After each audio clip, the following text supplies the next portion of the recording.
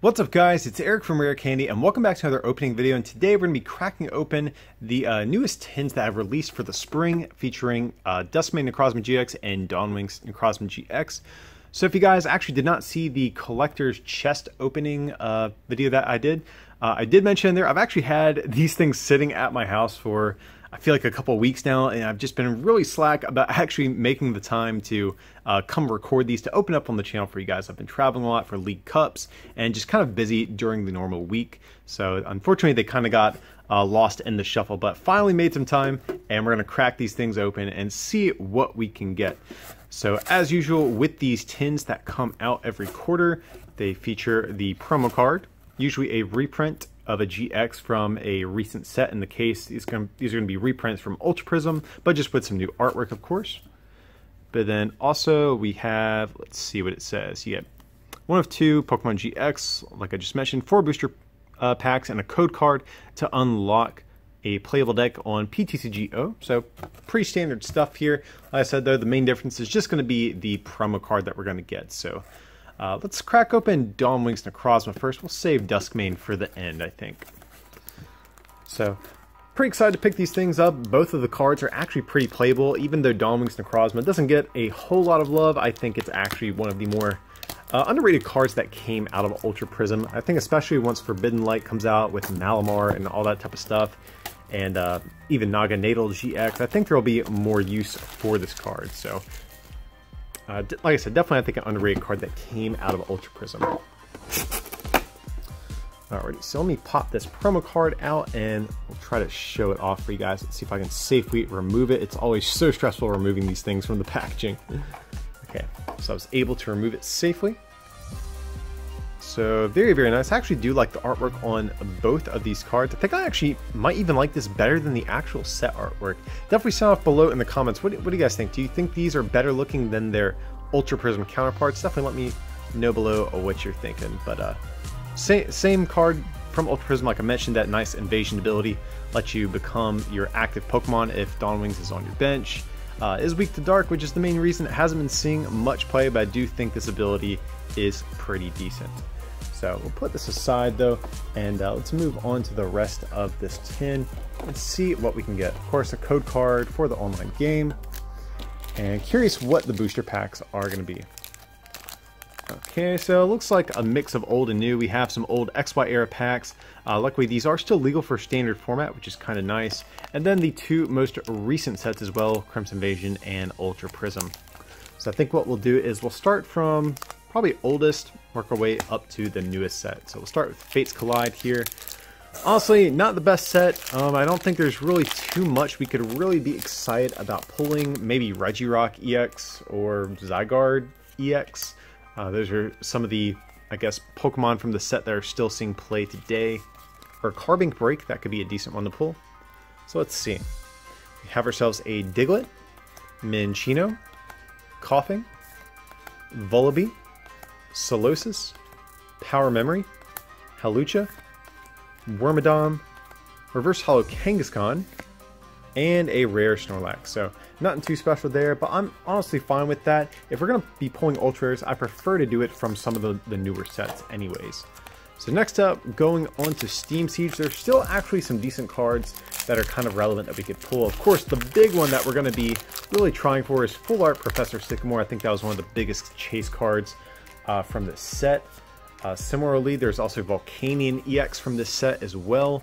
Uh, Xerneas Break. So there's a couple of other good little, uh, you know, hidden gems in here that we could get. So we have ourselves a Deino, Litwick, Nosepass, Chimchar, Nidoran Male, Pokemon Ranger, Anorith, Ninja Boy, Reverse Hollow Mankey, and a rare Pyroar. So Yet again, nothing too special there, but I am okay with that. Crimson Invasion and Ultra Prism are the sets I am most looking forward to uh, as far as pulling good cards from. So, if you guys did not know, I actually do play and collect, and there's still a decent amount of cards I'm missing from both of these sets as far as Ultra Rares go to complete my Master set. So, we'll see what we can get. Mainly some like Secret Rares and Rainbow Rares are the main things I'm going to be missing. So. Let's see what we can get. Maybe a Buzzwole GX would be nice out of Crimson Invasion. So we have ourselves a Bunnelby, Magikarp, Chimecho, Pikachu, Misdreavus, Metal Energy, Counter Energy, Piloswine, Diggersby, Reverse Hollow Cubone, and a rare Houndoom. So we're striking out in this 10 so far. Not even a normal Hollow Rare so far. So we have one more chance to kind of redeem ourselves. We have this Leafeon pack here from Ultra Prism. And hopefully all this has meant is that we're saving the best things for last.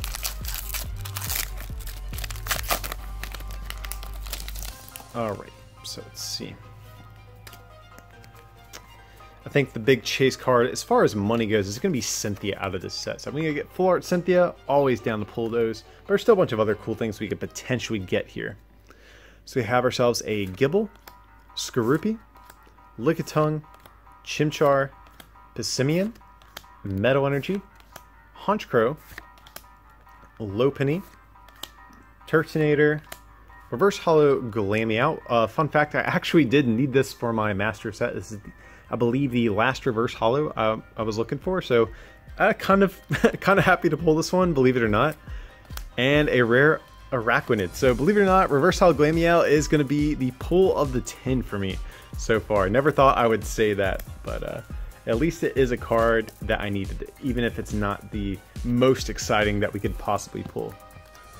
So we got one tin down. Let's move on to Duskmane Necrozma. Hopefully he can pull, uh, you know, bring us some better luck with the pulls out of this tin. So let's crack this one open. Man, this thing is stubborn. There we go.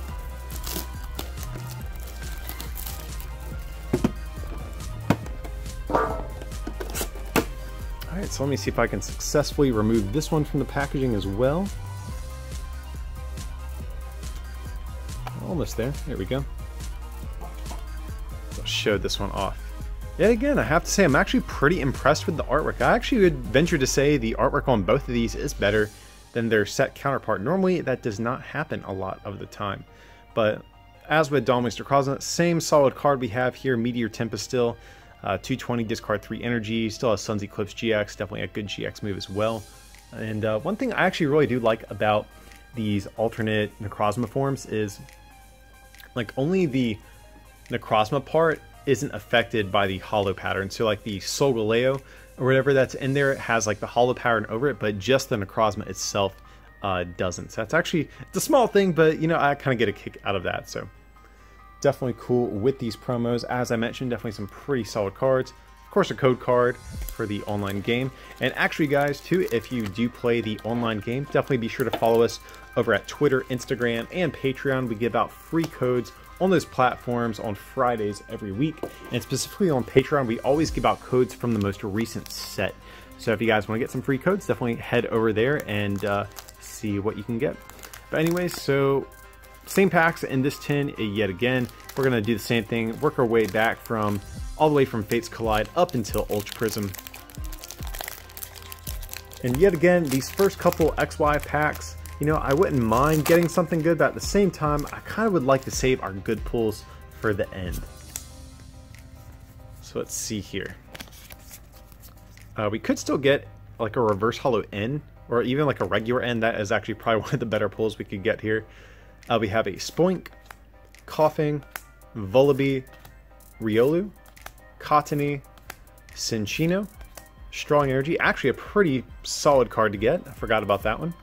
We have a Shauna, kind of obsolete now that we have Cynthia. Ooh, Reverse Hollow Ultra Ball. It's actually a pretty, pretty good reverse we could get. And a rare Reuniclus. So not too special there as far as our rare goes, but definitely some decent trainers right there. So next up we have Steam Siege.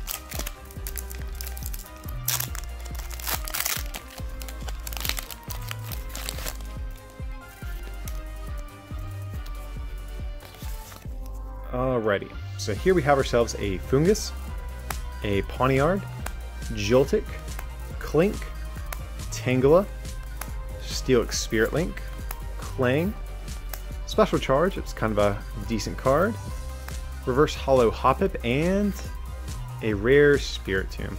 So yet again, nothing too groundbreaking there. But that is okay. As mentioned a couple times now, I want to kind of save our good pulls for the end for our Sun and Moon era packs. So let's crack open our Crimson Invasion pack and see what we can get. Like I mentioned before, Buzzwole would be, you know, more than welcome to get. But like I said, also I'm still missing some like rainbow rares and secret rares from this set. So would definitely prefer to get some of those if possible.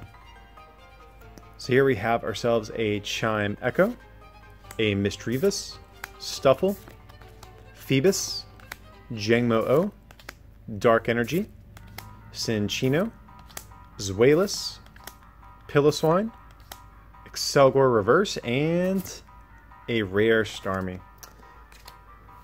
Alrighty, so striking out really hard with both these 10 guys. We haven't even got a single holo rare out of either of these, which is pretty bad. We have one pack left. Out of two two tens, not even a single holo rare pull would be pretty sad. Not a Prism Star pull, no GXs or EXs. So hopefully our buddy Giratina here can bring us some good luck and we can close this opening out on at least a half decent note.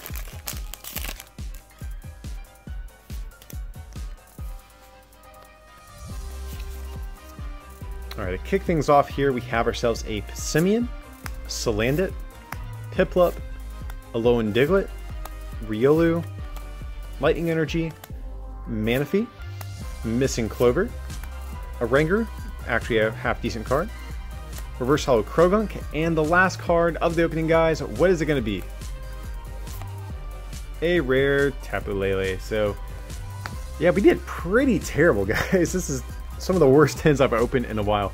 It hurts me to say, but our best pull was Reverse Holo Glameow. That's that's when you know that that you had a bad box or bad tin uh, when out is kind of the highlight. Now, of course, uh, we do have to give some credit to the promo GXs that we got in the tins. They are definitely pretty playable cards, I think.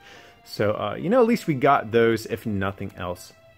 That's going to be about it for this one, guys. As usual, be sure to like and subscribe, and if you can support this channel by becoming a patron over at patreon.com slash rarecandytcg or by picking up something from our online store at rarecandytcg.com, like the Decidueye playmat you saw in this video, it would mean a lot. But with that, I appreciate you watching, and we'll see you for the next one.